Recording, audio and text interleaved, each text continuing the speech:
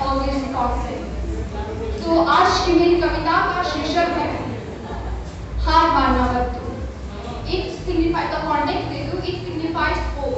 and हमारी Reema ma'am हमेशा कहती है there is a ray of hope at the end of the tunnel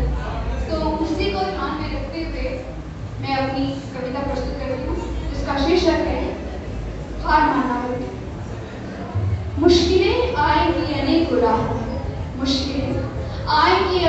राहों में पर मुश्किलों की डर से हार मानना मत वक्त आएगा कांटों भरी राहों में चढ़ने की, पर कांटों के डर से कदम को पीछे करना मत जब नामुमकिन सा लगे सफ़र तो मंजिल को याद करना जब छूटने लगे हौसले उम्मीदों की तो हिम्मत को अपनी हार बनाना